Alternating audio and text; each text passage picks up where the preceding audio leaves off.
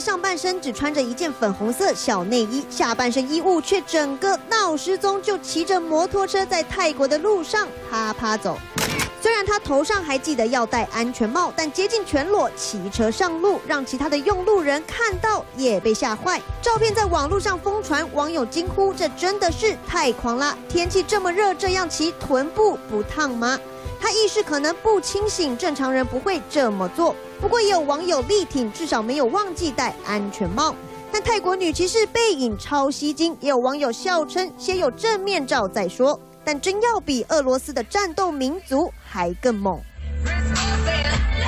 男子骑着重机，后座载着一名全裸辣妹，他大秀美背，又露半球。虽然长相被安全帽遮去大半，但光是姣好身材就引发网友暴动。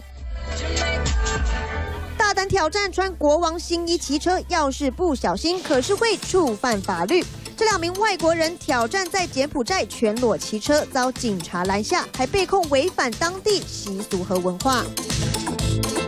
天气炎热，机车族想消暑，但向泰国这名女骑士接近裸体在风中奔驰，这方法恐怕是过了头。三立新闻陈思伟报道。